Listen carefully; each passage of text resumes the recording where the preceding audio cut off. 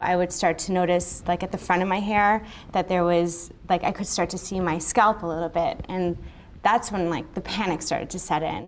I went to my hairstylist to have my hair done. He said to me, um, next time, get hair extensions and bring them because um, for women like you, they can be very helpful. Yeah, sorry. I'm so excited about Keranique. I just look in the mirror, I can't see my scalp. I have volume, I have hair. Using Keranique was a life-changing experience.